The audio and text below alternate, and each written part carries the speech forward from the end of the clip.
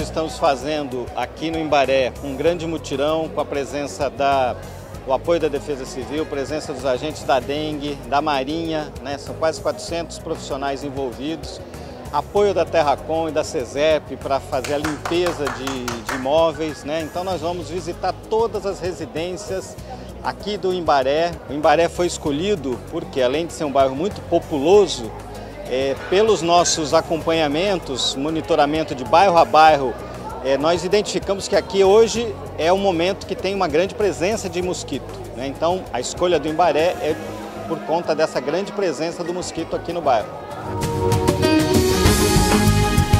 E nós conclamamos a população, os comerciantes, é, os empresários, todos a colaborarem, que sem o esforço de todos não será possível é, erradicar ah, os focos desse mosquito. Bom dia, da Secretaria de Saúde do Combate à Dengue, meu nome é Ana, a gente está aqui no Exército. As orientações valeram, né? Então eu acho que resolveu o problema, eu estou fazendo a minha parte. E eu achei, fiquei muito feliz, porque eu estava assim, eu falei, não acredito que né, eu estou cuidando e mesmo assim, e a gente está vendo que está um negócio bem complicado, né? Bem sério.